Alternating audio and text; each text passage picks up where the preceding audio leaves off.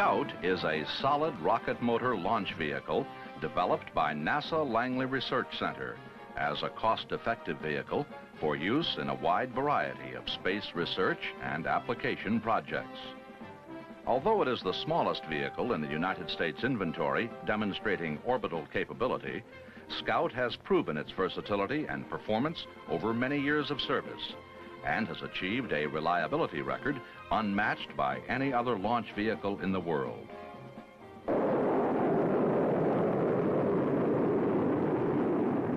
The purpose of this film is to acquaint you with the technical aspects of the Scout vehicle, its systems and performance capabilities. Scout mission capabilities include launch of Earth orbit satellites, deep space probes, and atmosphere reentry payloads. Three permanent launch sites are utilized in the Scout program. The site at Vandenberg Air Force Base, California, provides launch azimuths from due west through south, but is used principally for polar orbit and sun synchronous missions launched in a southerly direction. The launch site at Wallops Flight Center, Virginia, offers an easterly launch azimuth and is used for missions with orbits inclined to the equator. The San Marco launch site off the coast of Kenya, Africa, provides near equatorial orbital launches for Scout vehicles. Space probe or re-entry missions can be launched from any of these sites, but are usually accomplished from the Wallops Flight Center. The United States launch sites include clean room facilities for spacecraft buildup and checkout, and facilities for dynamic spin balancing of the spacecraft and fourth stage assembly. The San Marco range has limited cleanroom facilities, but no spin balancing capability.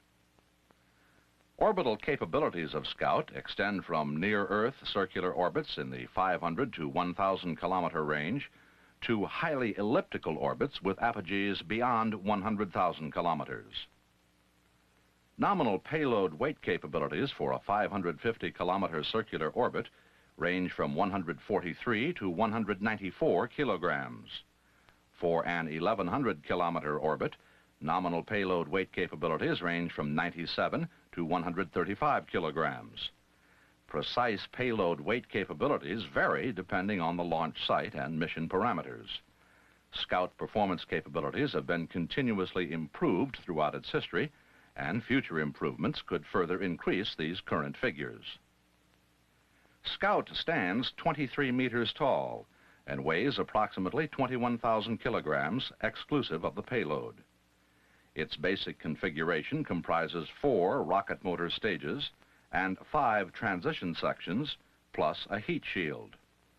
Alternate versions of some of these major components plus additional options offer a variety of final configurations available to suit specific mission purposes.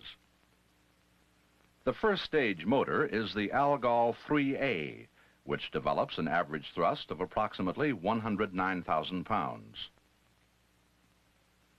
The second stage motor is the Castor 2A, which develops a thrust of over 64,000 pounds. The third stage motor is the Antares 2B, developing a thrust of approximately 28,000 pounds. The vehicle fourth stage is the Altair 3A motor, which produces a thrust of over 5,700 pounds. Ignition of each of the Scout motors is accomplished by dual squib actuated rocket motor igniters, which are inserted in the forward end of the propellant core when the vehicle is assembled. The transition sections of the Scout vehicle structure are designated as the base A, B, C, D, and E sections. These serve the dual purpose of connecting the vehicle stages and housing systems components essential for vehicle stage ignition, guidance, attitude control, tracking, telemetry, and destruct functions. Fourth stage timed command and telemetry monitoring are provided by components attached to a module around the fourth stage motor. Wiring essential to electrically interconnect the transition sections is routed through the external tunnels attached to the surface of the vehicle. The spacecraft is mated to the vehicle on the E section. An optional fifth stage is available for Scout. In this configuration, an F section joins the fourth and fifth stages, and a G section is the adapter from fifth stage to the spacecraft. The fifth stage is the Alcyone 1A motor, developing a thrust of 6,100 pounds. Since this configuration is rarely used, it will not be detailed further in this film. A heat shield encloses the payload compartment to provide aerodynamic efficiency and protect those components from aerodynamic heating during the period of ascent through the atmosphere. When assembled together, these major components constitute the complete Scout launch vehicle, ready for its designated mission in space. Let's follow a typical Scout launch trajectory employing the standard four-stage configuration and observe the major events that take place from liftoff to orbital injection. Prior to launch, the vehicle has been erected to a vertical position on the launcher and aligned to the selected launch azimuth. Pitch, roll, and yaw gyros of the guidance system are referenced to this position.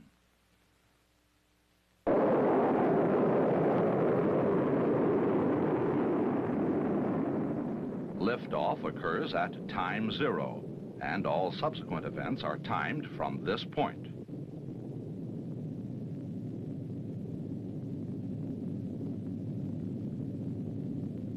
Throughout the launch trajectory, the guidance and control systems maintain stabilization in roll and yaw, while a pitch rate program successively alters the pitch angle to accomplish the desired trajectory.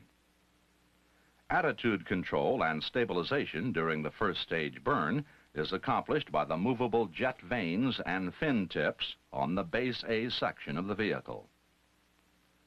First stage burn lasts for 82 seconds accelerating the vehicle to a velocity over 1,700 meters per second and an altitude of 44 kilometers. First stage burnout is followed by second stage ignition. Separation of the first stage occurs in the B section of the vehicle. Second stage burn lasts for 38 seconds and accelerates the vehicle to a velocity over 3,700 meters per second and an altitude of 89 kilometers. Attitude control for yaw roll stabilization and the pitch rate program during second stage motor burn is maintained by reaction thrust motors in the upper B section of the vehicle. During a brief coast period following motor burn, the heat shield is jettisoned since the vehicle has now cleared the major part of the Earth's atmosphere. On ignition of the third stage motor, the second stage separates at the C section of the vehicle. Third stage burn lasts for 29 seconds and accelerates the vehicle to over 5,300 meters per second. Attitude control during this motor burn also is accomplished by reaction thrust motors, which are located in the upper C section. After third stage burnout, the vehicle remains in a coast period for the time required by the specific mission trajectory selected. During this period, the attitude control system completes orientation of the stage to the proper orbital injection attitude, and then the fourth stage and payload assembly are spin stabilized. Separation of the third stage occurs at the vehicle D section, followed by fourth stage ignition. The fourth stage burn lasts for 30 seconds, injecting the payload into the programmed orbit. If required by the mission, on completion of the fourth stage burn, the payload assembly may be separated from the motor and despin torque applied by the spacecraft to cease rotation. Throughout the entire launch sequence, internal systems of the vehicle conduct all of the guidance, control, stage ignition, separation, telemetry, tracking, and safety functions required in the mission. Fundamental to control of all events in the launch is the guidance system, whose central components are located in the lower D section. Three key components of this system are the Inertial Reference Package, IRP, the intervalometer, and the programmer. The IRP provides the gyro-stabilized inertial reference for attitude stabilization and control, while the intervalometer is the time-based reference for all timed events and pitch program command rates as preset in the programmer for that specific mission. Other major components are the batteries supplying power to the guidance system, the power control relay box that switches the power when and where commanded, the inverter which provides 400 hertz AC power for guidance components, the roll yaw compensating unit, the filter box and poppet valve electronics, which actuate the reaction control motors, and the rate gyro unit, which is located in the C section. Throughout the launch trajectory, the guidance system provides attitude control signals to the first stage hydraulic servo system and the second and third stage reaction control systems. The displacement gyros detect errors from the reference attitude and generate correction signals, which are combined with rate signals from the rate gyros, producing a signal that is amplified and applied to corrective control functions. At times preset in the intervalometer, program changes in vehicle pitch attitude to maintain the planned trajectory are accomplished by torquing the IRP pitch gyro at preset rates and duration. This, in turn, signals changes in the appropriate control systems. Increased trajectory accuracy is achieved by the roll yaw compensation unit, which compensates for attitude perturbation errors during pitch rate commands that are not sensed by the guidance system roll and yaw gyros. If required by the mission, program changes in yaw attitude also are possible in the same manner by torquing the yaw gyro of the IRP. Components of the guidance system also perform key functions in the ignition of the upper stage rocket motors and other pyrotechnics in the launch sequence. Activation of the vehicle ignition system is one of the pre-launch blockhouse control functions, which include activation of the ignition battery power supply, and arming all safe arm relays throughout the vehicle. Arming the relays readies the circuits for application of power to the ignition squibs on command. First stage ignition is initiated on command from the blockhouse by application of blockhouse power to the first stage motor firing squib. At vehicle liftoff, lanyard switches activate latching relays in the power control relay box to enable the ignition circuits for all subsequent timed events in the launch. At the pre-selected times in the sequence, the intervalometer activates ignition command relays in the power control relay box to connect power to the firing squibs in the second stage motor, the heat shield ballistic actuator, the third stage motor, the spin motors and fourth stage motor delay, and the fourth stage separation clamp. At separation, a switch on upper D section initiates a four-channel timer on the fourth stage module. Three channels are available for optional payload functions if required. The fourth channel fires the payload separation clamp on the E section, releasing the spacecraft. Three other active systems important to launch operations are the telemetry, tracking beacon, and destruct systems of the vehicle. Two telemetry systems provide continuous monitoring of vehicle data throughout the launch trajectory. Major components of the first system are housed in lower D section, with data input instruments located throughout the first three stages of the vehicle. This is a 21-channel FM to FM system having a power level of 5 watts, operating in S-band at a frequency of 2230.5 megahertz.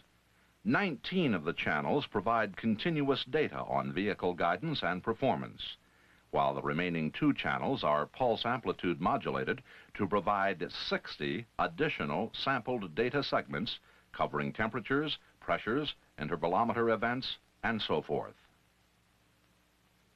The second telemetry system is located on the fourth stage module. This is an S-band, 5-watt, 12-channel, FM to FM system operating at a frequency of 2210.5 megahertz. It is operational from liftoff and monitors vehicle fourth stage flight parameters of temperatures, head cap pressure, and accelerations. The tracking beacon, located in the D section, receives interrogation signals from C-band radar tracking stations and responds with a transmitted reply having many times the energy of a reflection signal alone. This unit consists primarily of a super heterodyne receiver and transmitter operating from a single antenna by means of a built-in diplexer. The destruct system provides for either automatic or command destruction of the vehicle, if necessary for unscheduled flight termination. Linear, shaped charge destructors are located on the side of each of the first three stages of the vehicle. Safe arm units for these charges are armed by blockhouse control prior to launch. The auto-destruct system contained in the first and second stages provides for vehicle destruction in the event of a structural failure or premature separation of the B or C sections. To prevent auto-destruct at normal stage separation, the head cap pressure switches on each stage open at burnout of that motor. Structural failure or premature separation during first or second stage thrusting would actuate lanyard switches to complete the ignition circuit from internal batteries to the squibs of the destruct charges. Command Destruct utilizes a dual command radio link which reacts from coded signals received from the ground station to initiate vehicle destruction. The first command signal transmitted from the ground is an arm signal which closes relay contacts in the relay box. The second command signal, routed through the first relay contacts, closes a second set of relays which complete the circuits from the ignition battery to the destruct charges. The command destruct circuitry contains redundant systems such that either radio receiver and either ignition battery can activate the destruct function. Although the telemetry, tracking, and destruct systems include a ground communication link, all of the internal systems of Scout are independent of ground control. After liftoff, the vehicle successfully completes the launch mission without further external command. Now let's examine in more detail is an aluminum and steel semi-monocoque structure that surrounds the nozzle of the first stage motor. This section is bolted to the base of the motor and provides the main support of the entire vehicle when erected on the launcher. Incorporated in the base A are four fixed fins with movable tips which provide aerodynamic control during trajectory through the atmosphere. Mechanically linked to each of the control tips are jet vanes that extend into the motor exhaust plume. These vanes provide the necessary control forces at liftoff when the vehicle velocity is not sufficient for the aerodynamic fin tips to be effective. Base A contains the complete hydraulic system components required to power these control surfaces during flight. Hydraulic control is effected by a conventional servo system whose main components include a battery power supply, hydraulic pump, fluid filter, reservoir, relief valves, and four servo actuator assemblies linked to the torque tube connecting vane and tip. The actuators are powered by hydraulic pressure and controlled by the guidance system signals to position the vanes and tips as required for yaw, roll, and pitch control of the vehicle from liftoff through first stage thrusting and coast. The B section is the interstage and separation system between first and second stages and comprises two major parts, upper B and lower B assemblies. Lower B is a steel section that fastens to the first stage motor and attaches by a threaded frangible diaphragm to the steel nozzle of the second stage motor. The nozzle structurally supports the upper vehicle stages. The threads of the frangible diaphragm are mated to inner threads of the lower B assembly and threads in the second stage motor nozzle. Separation occurs when ignition of the second stage motor fails the diaphragm, causing release of the threads from the upper stage nozzle. The upper B section is an aluminum and phenolic glass structure which attaches to the second stage motor and encloses the motor nozzle. Contained in this section are four 44-pound thrust reaction motors for roll control, and four 500-pound thrust reaction motors for pitch yaw control, plus the hydrogen peroxide system to supply these motors. This reaction control system consists principally of 10 hydrogen peroxide tanks, two nitrogen tanks, the eight reaction motors with control valve assemblies, plus pressure regulators, valves, and fittings to complete the system. The nitrogen system pressurizes the hydrogen peroxide tanks, which contain internal bladders to prevent mixing of the nitrogen and peroxide. On command from the guidance system, individual solenoid valves open and close to admit the pressurized hydrogen peroxide to the reaction control motors. The fuel passes through a catalyst bed in each motor, where it is decomposed into oxygen and steam, and ejected through the motor nozzle at high velocity, producing the reactive force required. The reaction thrust motors of the B section control the vehicle through second stage burn and the following coast period when the heat shield is jettisoned. Three heat shield configurations are available with Scout, the smallest having a payload compartment volume of 0.5 cubic meters, the second 0.68 cubic meters, and the largest 1.01 cubic meters. These heat shields are a phenolic glass laminate and honeycomb composite split shell structure with a metal nose cap. Increased thermal protection of the payload compartment is provided by a cork coating on the forward exterior surface. Inside surface temperature radiating to the payload does not exceed 125 degrees Fahrenheit in a maximum heating trajectory. An internal bumper braces against the fourth stage motor flange to evenly distribute the load. Payload access through the heat shield is provided by either spring-loaded or removable bolt-on doors.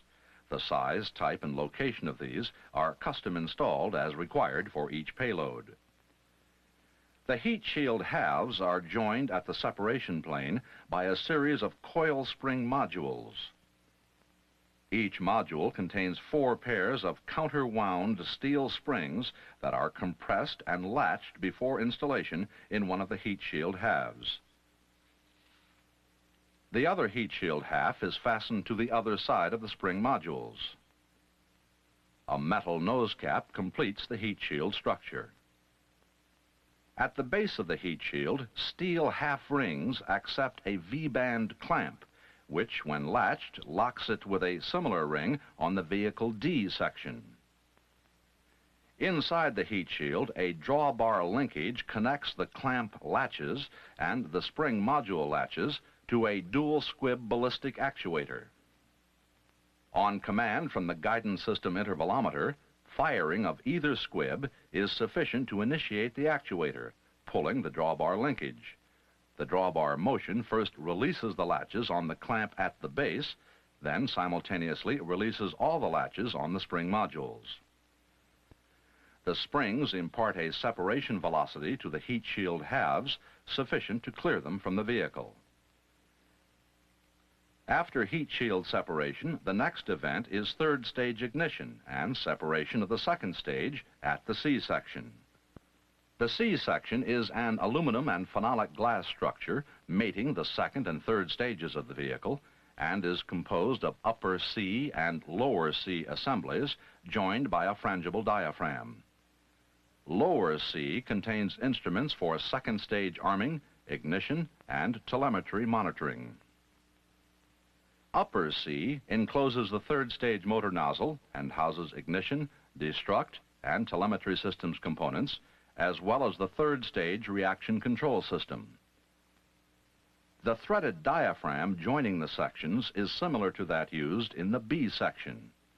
Firing of the third stage motor fails the diaphragm, disengaging the threads of the upper section and thus jettisoning the expended second stage rocket motor. During third stage burn and coast, attitude control is maintained by reaction thrust motors located in the upper C section.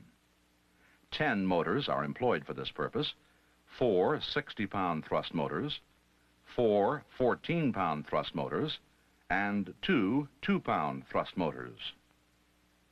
The nitrogen pressurized hydrogen peroxide system supplying these motors is similar to the second stage system, except only two peroxide tanks are required. During the burn phase, the four 60-pound thrust motors control yaw and pitch attitude, while the four 14-pound thrust motors stabilize roll. During the coast phase, when less control force is required, the 60-pound motors are shut off and the two two-pound thrust motors are activated to control pitch attitude. Also, a bypass restrictor reduces the thrust of the 14-pound motors to 3 pounds, and these are then used to control both roll and yaw attitude as needed. Note that the nozzles of the 60-pound thrust motors are inclined at a forward angle.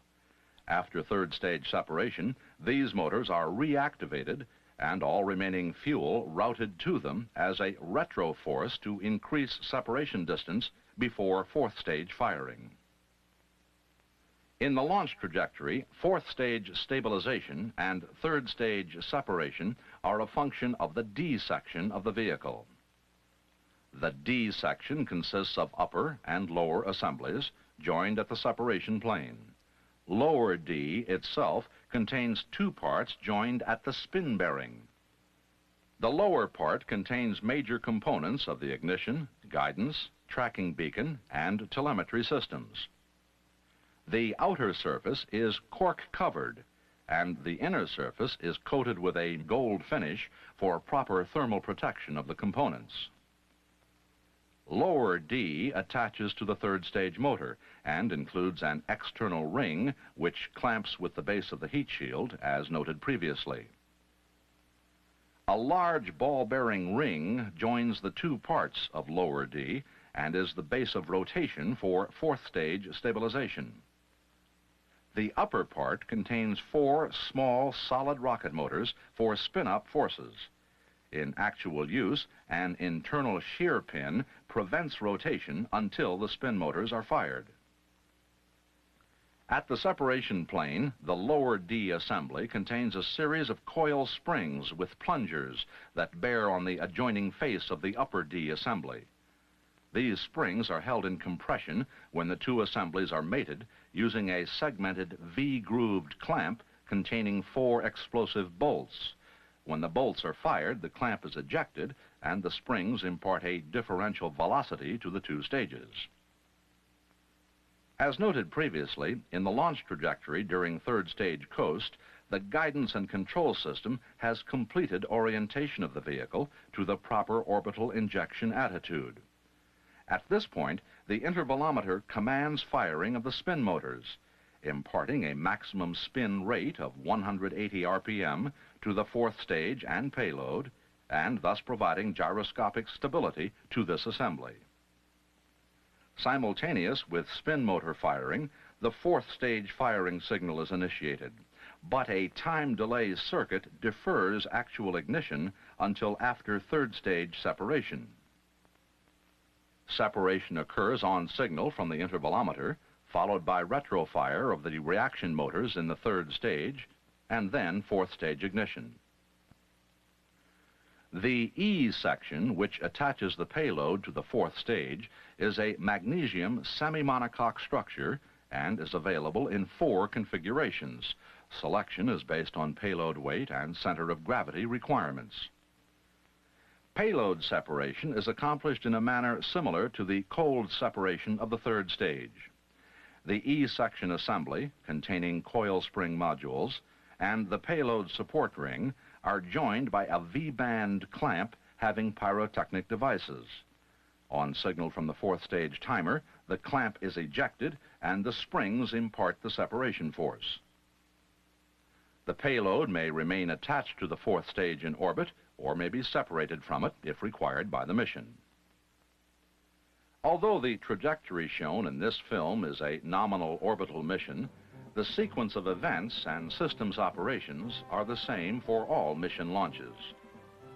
The wide latitude in pitch rate programming, coast period selection, and the many configuration options available give Scout a versatility in performance adaptable to many mission requirements. Scout is designed and engineered as a state-of-the-art vehicle. It is a proven, cost-effective system offering economical capability and a reliability record unequaled by any other launch vehicle. Publications offering more complete detail on Scout systems, components,